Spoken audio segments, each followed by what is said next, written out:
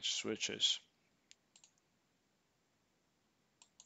Now take a look at the summary. It has the AAA DNS, NTPS, syslog, and everything you're gonna provisioned. Click deploy. We to go ahead and take a look at the activity and see how that goes. So it gives me a, a failed message. Let's take a look. And what I'm saying is the provision I want to provision is the uh, ISE for network login. So go to the network settings. I was going to click the network. Go on, select the ISE and the radius. Create the pools. We're gonna reserve overlay pool for ITVN. I'll reserve two subnet ranges 172.16.1.0, 172.16.2.0. And a VM, we're going to create a sales VN 172, uh, 16.3.0, 172.16.4.0, and we'll have an underlay pool that's for the border infusion. I can take it from the control pool, where which is created in a global level. That will be 172.20.1.0. So let's navigate to the network and go ahead and take a look at the pools. Pools that would define the global is control pool and a data pool. My control pool is an underlay. Data pool is the overlay. Click the HQ.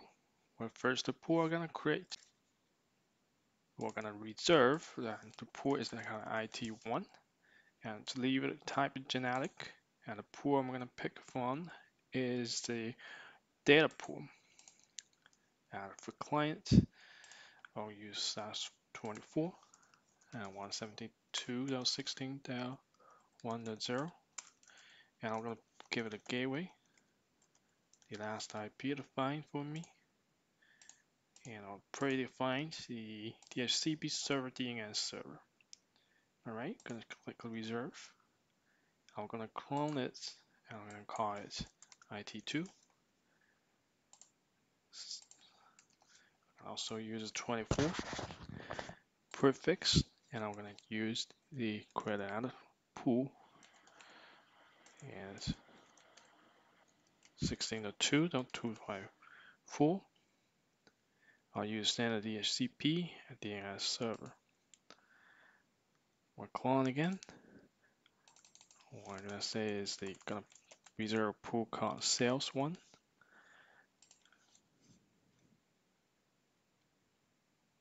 We stash 24, 172, 16.3.0, 117.16, 3.254. Clone it.